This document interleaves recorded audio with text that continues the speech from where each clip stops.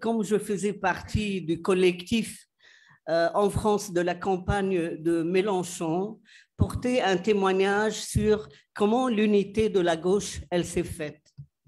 Eh, buongiorno, eh, avendo partecipato al collettivo per la campagna elettorale di Mélenchon, volevo rendere qui testimonianza di come si è arrivati a questo risultato sorprendente con le recenti elezioni.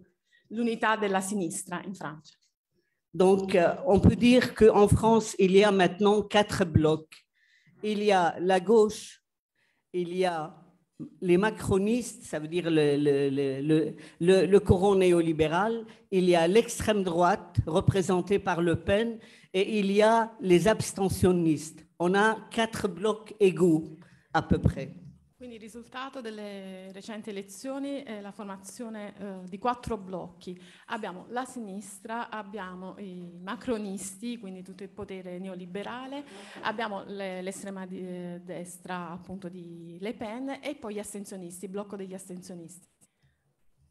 Donc, euh, Mélenchon, euh, on a eu 22% de, de, de votes. Et euh, alors, ces 22%, ils ont permis de faire l'unité de la gauche.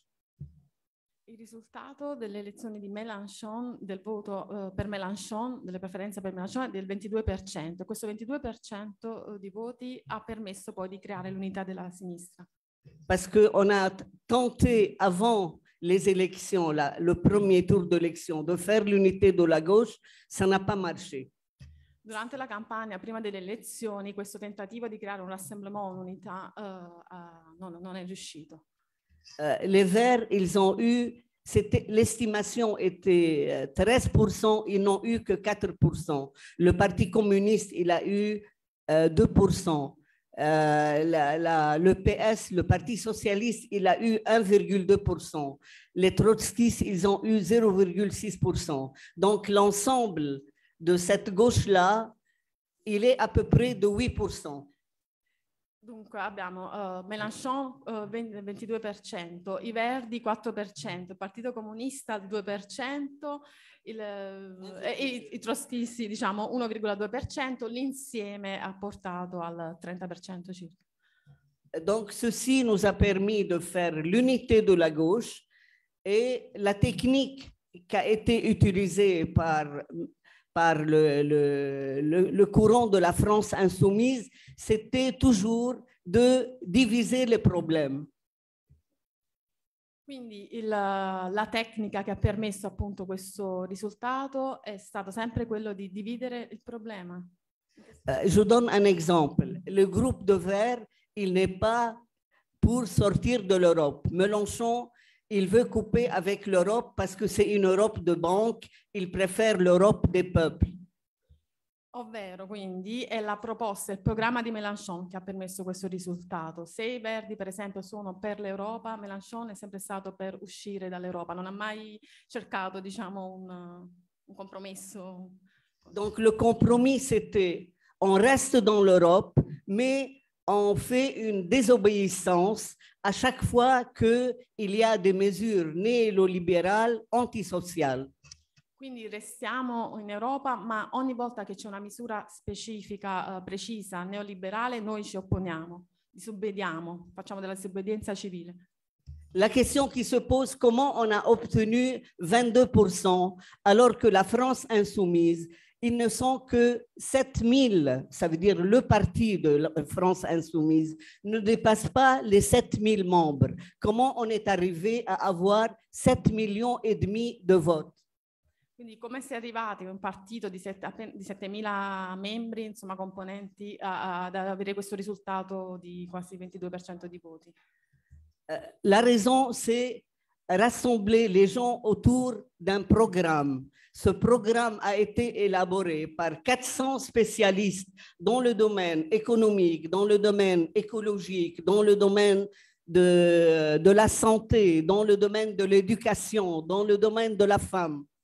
Quindi gli iscritti al, al partito Francia Insoumise sono appena 7.000, ma sono riusciti a ottenere questo voto creando una, una prossimità appunto al programma, alle proposte eh, dei, eh, da parte dei giovani con, con specialisti, specialisti nell'ambito dell'eco, dell'ecologia, della, della, della, dei diritti delle donne, quindi del femminismo, delle teorie di genere contro la discriminazione, per la giustizia sociale, Quindi è sul programma che si sono basati, che. Et les spécialistes, ils ne sont pas tombés du ciel. Vous savez que la France, elle a connu le mouvement de Gilets jaunes et le mouvement de la nuit debout. Euh, tous les soirs à la République, il y avait au moins entre 200 et 1000 personnes qui se réunissaient pour discuter de tous les problèmes de la France. Gli stessi specialisti, appunto esperti, non sono caduti dal cielo, ma è stato un processo che ha portato a questo, e a partire appunto dal movimento dei Gilets jaunes e anche molto prima le notti, la, la, France, la, la, la Nuit début a Place de la République. Si, si incontravano, creavano luoghi di discussione, dei piccoli forum anche appunto cittadini su questi argomenti, su queste proposte. L'important, c'est que non seulement il y a un programme avec de revendications sociales, euh, oui, euh, il y avait à chaque fois des solutions. Ça veut dire, lorsqu'on on adopte cette mesure, quel est le budget sur lequel on peut compter? Quindi con queste discussioni non solo si ponevano dei punti fissi, delle proposte, delle rivendicazioni, ma anche come arrivare a queste, che tipo di soluzione anche dal punto di vista finanziario, budgetario. Le résultat de ce, c'est que tous les syndicats des professeurs de l'éducation, tous les infirmiers de la santé, euh, toutes les organisations féminines, euh, beaucoup des, courants écologistes, ils ont voté pour ce programme. Par exemple, le programme écologique euh, de la France insoumise, il était beaucoup plus élaboré que le programme de l'Europe Écologie Les Verts représenté par Jadot. Quindi il risultato è stato che appunto su questi punti, su questo programma ci sono stati eh, i sindacati dei, degli insegnanti oppure dei, dei, tutti gli operatori del servizio sanitario, anche i verdi, i ecologisti che si sono movimentati, si sono, si sono messi in discussione e hanno, eh, l'hanno approvato, molto più che per, eh, per il programma dei verdi. Uh, je veux dire que la, gauche nouvelle, elle est différente de toutes les autres gauches parce qu'elle est anti-atlantiste. Ils ont euh, voté sur l'immigration contre la loi de séparatisme qui veut diviser la société française entre islam et, et français laïque. Et euh, sur tous les autres plans, euh, il est, c'est le seul qui est contre la guerre et c'est contre la militarisation de uh, l'Europe.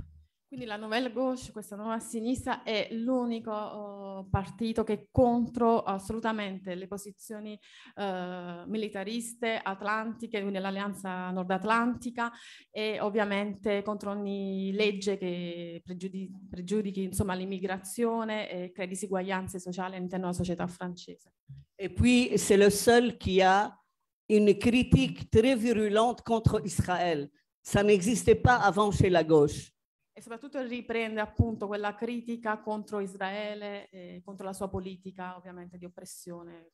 Et à plusieurs reprises, il a pris des positions contre le blocus de Gaza et contre le checkpoint et l'apartheid qui est exercé en Cisjordanie.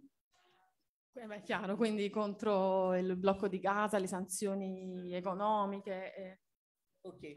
Donc, euh, je n'ai pas le temps pour vous, tout vous expliquer, mais c'est ça les directives générales. Je pense que c'est très important de s'appuyer sur cette expérience si jamais la gauche en Italie doit s'unir.